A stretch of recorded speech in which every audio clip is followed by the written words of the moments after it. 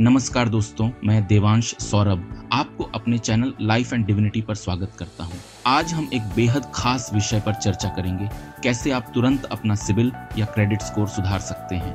अगर आप अपने फाइनेंशियल फ्यूचर को बेहतर बनाना चाहते हैं तो इस वीडियो को लास्ट तक ज़रूर देखें। जैसे, हमें अपने स्पिरिचुअल लाइफ को सुधारने की आवश्यकता होती है, वैसे ही एक स्ट्रॉन्ग फाइनेंशियल लाइफ भी बेहद ज़रूरी है। इसी जागरूकता को फैलाने के लिए मैं लाइफ एंड डिविनिटी पर ऐसे ही महत्वपूर्ण विषयों पर वीडियो लेकर आता हूँ। अगर आप अपनी लाइफ में फाइनेंशियल और स्पिरिचुअल बैलेंस चाहते हैं तो अभी हमारे चैनल को सब्सक्राइब करें और नोटिफिकेशन बेल भी दबाएँ, ताकि हमारे सारे नए वीडियो सबसे पहले आप तक पहुँचे। क्या आप जानते हैं कि एक अच्छा सिविल या क्रेडिट स्कोर सिर्फ़ एक नंबर नहीं, बल्कि आपकी आर्थिक मजबूती का प्रतीक होता है, और आज मैं आपको बताऊँगा कि इस स्कोर को कैसे बढ़ा सकते हैं, वो भी तुरंत। सोचिए, अगर आपको आपके सपनों का घर चाहिए, एक कार चाहिए, या कोई और बड़ी चीज़ तो एक अच्छा सिविल या क्रेडिट स्कोर आपकी मदद कर सकता है। कभी सोचा है कि सिर्फ़ एक नंबर आपकी लाइफ को बदल सकता है? क्या आप जानते हैं कि बेहतर क्रेडिट स्कोर से आपको कम ब्याज दर पर लोन मिल सकता है? अगर आपकी स्कोर सही नहीं है तो अभी इसे सुधारने का समय है। बस, कुछ आसान टिप्स से। दोस्तों, जैसे एक स्वस्थ जीवन के लिए हमें मानसिक और आध्यात्मिक मजबूती की ज़रूरत होती है, वैसे ही एक खुशहाल वित्तीय जीवन के लिए हमें सिबिल या क्रेडिट स्कोर की आवश्यकता होती है। और इसी कारण हम यहाँ लाइफ एंड डिविनिटी पर आपके साथ वित्तीय जानकारी भी साझा करते हैं, ताकि आप एक बेहतर जीवन जी सकें। अब सोचिए, आपको आपके सपनों का घर लेना है या एक गाड़ी और बैंक आपकी क्रेडिट रिपोर्ट देखकर आपको रिजेक्ट कर दे। कितना निराशाजनक होता है है ना? एक अच्छा सिविल या क्रेडिट स्कोर वो कुंजी है जो आपके लिए आर्थिक अवसरों के दरवाजे खोलता है। और जिनका स्कोर अच्छा नहीं होता, उन्हें लोन मिलना मुश्किल हो जाता है या उन्हें बहुत ज़्यादा ब्याज देना पड़ता है। मान लीजिए, आपका एक दोस्त है राहुल। राहुल का क्रेडिट स्कोर 800 है, जबकि किसी और का सिर्फ़ 600 है। दोनों ने एक ही बैंक से 10 लाख का होम लोन लेने की कोशिश की। बैंक ने राहुल को कम ब्याज दर पर लोन दे दिया, लेकिन दूसरे व्यक्ति को लोन के लिए मना कर दिया या ज़्यादा ब्याज दर पर लोन दिया। ये फ़र्क सिर्फ़ उनके क्रेडिट स्कोर के कारण है। इसलिए, दोस्तों, ये स्कोर सिर्फ़ एक नंबर नहीं है, ये आपकी ज़िंदगी में एक महत्वपूर्ण भूमिका निभाता है। तो सिविल या क्रेडिट स्कोर आखिरकार काम कैसे करता है? इसे समझना बहुत ही आसान है। ये एक तीन अंकों का नंबर है जो आपकी क्रेडिट हिस्ट्री को दर्शाता है।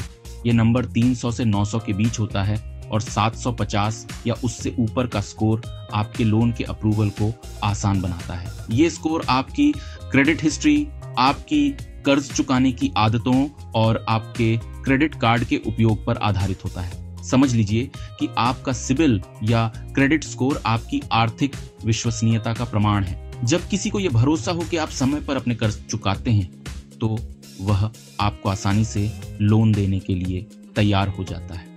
मान लीजिए, आपके पास एक क्रेडिट कार्ड है और आपने कुछ महीने तक अपने बिल्स समय पर नहीं भरे। आपकी इस छोटी सी गलती का परिणाम यह हो सकता है कि जब आपको लोन की सख्त ज़रूरत हो, तब आपका सिबिल या क्रेडिट स्कोर आपकी मदद न कर पाए। इसलिए हर छोटे बड़े भुगतान का ध्यान रखना बहुत ज़रूरी है। सिविल स्कोर कैसे बढ़ाएँ? तो सवाल आता है कि सिविल स्कोर को बढ़ाएँ कैसे? कुछ छोटे छोटे कदम उठाकर आप इसे तुरंत सुधार सकते हैं। आज मैं आपके साथ पाँच असरदार तरीके साझा करने वाला हूँ। ये तरीके न केवल आपके सिविल स्कोर को बढ़ाएँगे, बल्कि आपको एक जिम्मेदार व्यक्ति बनाएँगे।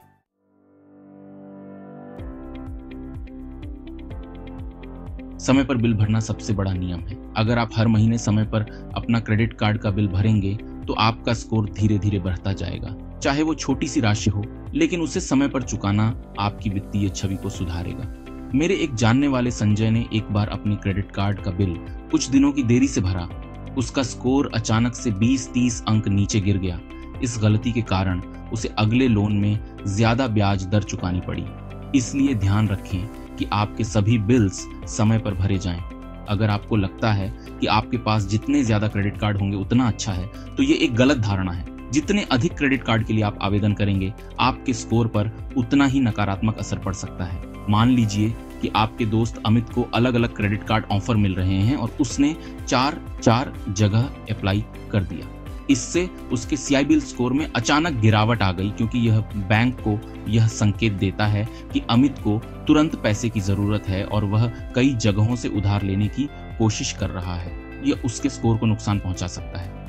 अपने क्रेडिट कार्ड की लिमिट का केवल 30 प्रतिशत या उससे कम का उपयोग करना सबसे अच्छा होता है।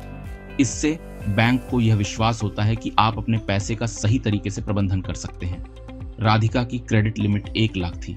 लेकिन उसने हर महीने उस लिमिट का 80-90 प्रतिशत इस्तेमाल किया। इससे उसकी क्रेडिट हिस्ट्री पर असर पड़ा और सिबिल स्कोर घट गया। तो हमेशा अपनी लिमिट का 30 प्रतिशत या उससे कम इस्तेमाल करें। आपके किसी भी लोन का समय पर भुगतान न केवल आपके सिबिल स्कोर को बढ़ाता है, बल्कि आपको मानसिक शांति भी देता है। चाहे वो छोटा लोन हो या बड़ा, उसे सही समय पर चुकाना बहुत ज़रूरी है। मान लीजिए, मोहन ने एक पर्सनल लोन लिया था और वह समय पर उसे चुका रहा था। इससे उसका स्कोर ऊपर गया और जब उसने अपने व्यवसाय के लिए बड़ा लोन लेने की सोची तो उसे आसानी से अप्रूवल मिल गया। हर छह महीने में अपनी क्रेडिट रिपोर्ट चेक करना चाहिए ताकि कोई गलती हो तो उसे समय पर सुधारा जा सके। इससे आप अपने स्कोर की स्थिति से वाकिफ रहते हैं और भविष्य में किसी बड़े फैसले से पहले उस पर काम कर सकते हैं। रवि ने कई सालों से अपनी रिपोर्ट चेक नहीं की थी। जब उसे लोन चाहिए था, तब उसने देखा कि उसके स्कोर में कुछ गलत एंट्रीज हैं, जिससे उसका स्कोर कम हो गया था। रिपोर्ट को समय समय पर चेक करके वह इसे पहले ही ठीक कर सकता था। तो दोस्तों, ये पाँच आसान टिप्स आपकी ज़िंदगी बदल सकते हैं और आपके वित्तीय जीवन में स्थिरता ला सकते हैं। इन्हें फॉलो करने से न केवल आपका सिबिल स्कोर सुधरेगा, बल्कि आपको आर्थिक रूप से आत्मनिर्भर बनने में मदद मिलेगी। ध्यान और वित्तीय जीवन में तालमेल।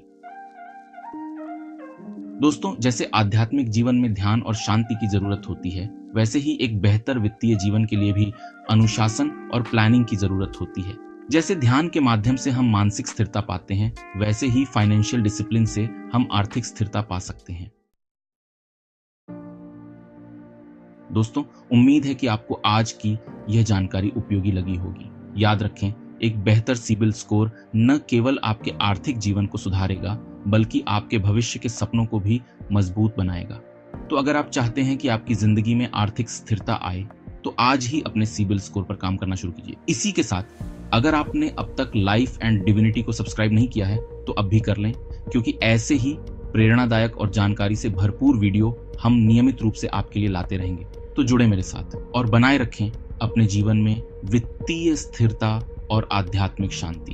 धन्यवाद और जल्दी ही फिर मिलते हैं एक नए वीडियो में।